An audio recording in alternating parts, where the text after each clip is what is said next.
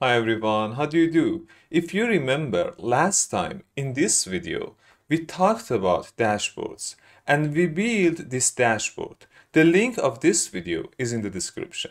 Today we are going to make it beautiful. We will format it and change it to this. So you can easily choose between dark and light themes. For those of you who don't remember, in this dashboard you can filter it month by month day by day and week by week. And you can also see the information of each country as well. Okay, let's do it.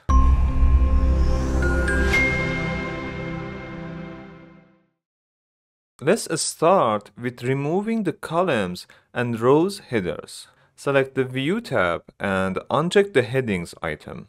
First, I'm going to show you how to format the pie chart. For your better understanding, let me move it to an empty sheet.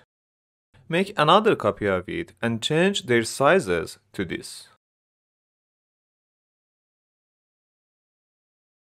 Select the bigger one and click once on the chart and remove the outline from the entire chart. While the chart is selected, Click once more on this section of chart and remove the filling from it. Repeat this for these two sections as well. Select the last part and right click on it and select format data points. In the fill and line section, set gradient fill for the shape. This section is personal. You can choose any color you like. Okay, now the next chart. Select the chart and remove the outline from the entire chart. Select this one and remove the filling. And also for this one. Select this section and add gradient fill to it. Do the same for another one. Insert two circles into the sheet and change their sizes like this. Remove their outline and add gradient fill for both of them. For this one, select radial type and change its color. Increase the transparency for this color. While this circle is selected, in the formula bar type equal and select the maximum value from the percentage sheet. Enter. Align text to the middle and center and change its style. Alright, everything is ready. Open the selection pane and rename all the shapes according to their visibility. This circle is going to be under all the shapes. So rename it 1 and drag its layer down. And this one will be at top. So rename it 4 and its layer already is placed at top. Rename this chart 3 and this one 2. Now the order of all the layers is correct. Select all the shapes and align them to the middle and center. And group them. Perfect. Now you can move it to the dashboard and adjust it. Now if I filter the list, you can see how amazingly it responds to it. For the next part, let me format the slicers. Select the calendar slicer and in the slicer tab, there is a section which is called slicers styles you can't modify the default styles.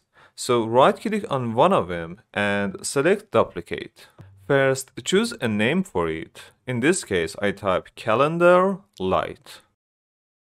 The important section is this part. Select whole slicer and click on format.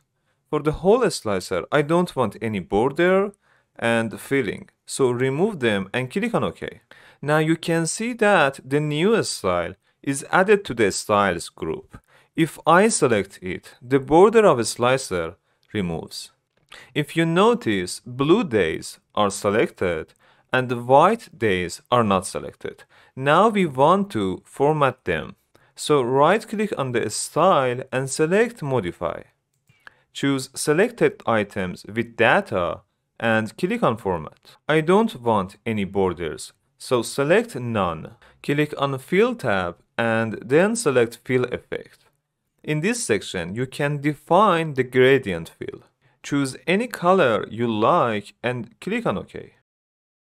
From the Font tab, you can define the font style. For example, let me set dark green for the font color. Click on OK. Let's format the unselected data as well. Select unselected items with data and format them.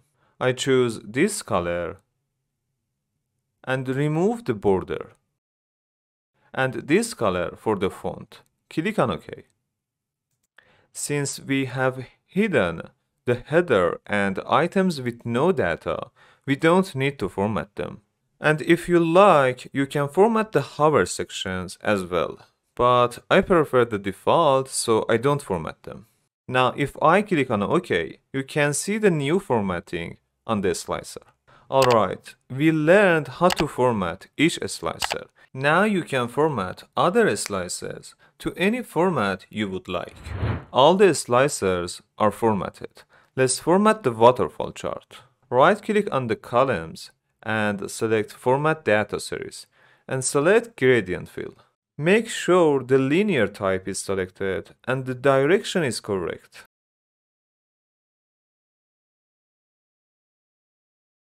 If you want, you can add drop shadow to the chart. But for grand total, I prefer different color. So click on it and make sure that only grand total column is selected.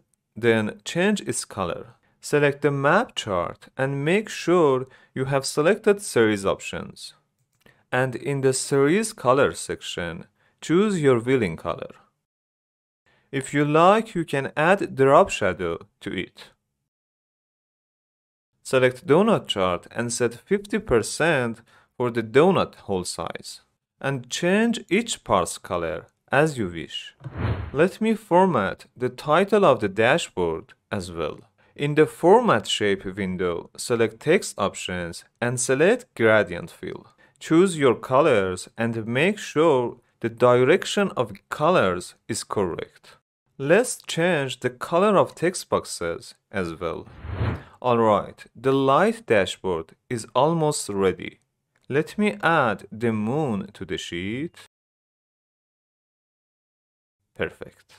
Now we have to duplicate the sheet. Hold the control key down and drag the dashboard light tab to the right and drop it. By doing this, you have duplicated the sheet change its name to Dashboard Dark. From the selection pane, select Hide All and only show the background shapes and fill them with gradient fill. These are the color codes that I am going to use for this gradient. If you remember, we already grouped these shapes together. Now if I apply gradient fill to the group, it will be applied to all the shapes. It is a very interesting feature and time saving. Since the bottom rectangle was not in the group, it should be done separately. For the middle rectangle, I want a specific gradient. Click on Preset Gradients and select this one. Set these color codes for each section and adjust their positions.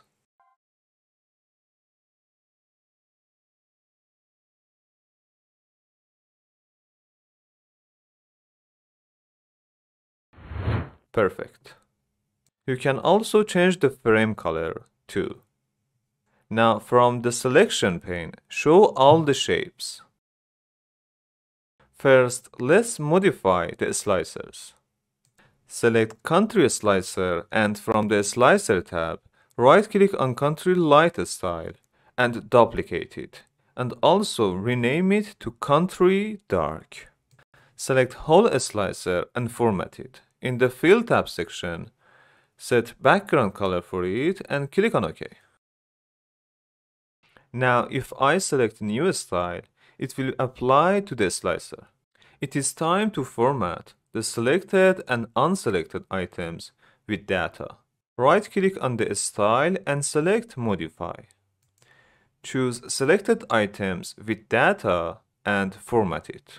In the Fill tab section, set No Color and in the Border tab, set Green border for it and select Outline. And also in the Font tab, change the font to green. And finally, we have to format unselected items with data. Set no color for fill and remove the borders. And for the font color, choose blue and click on OK. Now you can see the result. Repeat this for the months and calendar slicers as well. Let's change the color of text boxes and also if you like you can change the color of charts. Alright, everything is ready. Change the moon to the sun and link it to the dashboard light sheet. To add a link, right click on the sun and select link. In the opened window, from the left side, select place in this document and select Dashboard Light Sheet. Click on OK. Now, if you click on Sun, Excel navigates you to the light dashboard. Let's add link to the moon as well. But this time, you have to address it to the dashboard dark sheet. Click on OK. Alright, now you can easily change between dark and light themes.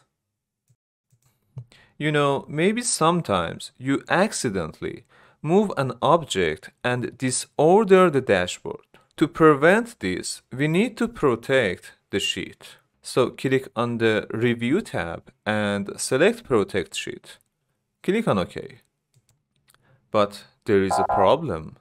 I can't filter my list anymore. All the slicers are locked. We need to fix this problem. First, unprotect the sheet. Now everything is editable. By default, all the shapes are locked. For example, if I right-click on the country slicer and select size and properties, you can see that the slicer is already locked. But this lock only activates when you protect your sheet. But I don't want to lock the slicer. So uncheck it and instead go to the position and layout section and check disable resizing and moving option. Repeat this for the calendar and month slicers as well. Now if I protect my sheet, I can filter the slicers and they are locked in their positions. Don't forget to repeat this for the light sheet as well. For the final step, let's modify the sheet because we only need the dashboard. We don't need the formula bar or the sheets tab. To hide them, go to the file, options, and select advanced. Scroll down to the display section and uncheck the items you don't want to see. For example, I don't want to see formula bar or sheet tabs and these two, click on OK. And also click on this arrow and select full screen mode. Now zoom in and adjust the dashboard to the sheet. If you want to exit from the full screen mode, click on top and again select always show ribbon. Alright, the dashboard is ready. In next video, I will show you how to build this filterable calendar. Because for the company that I was designing this dashboard, it was very important to see the information week by week. I hope you found this video helpful. If you did, give it a big thumb up and subscribe to the channel. Alright, it was all for today's video. I'll see you in the next video.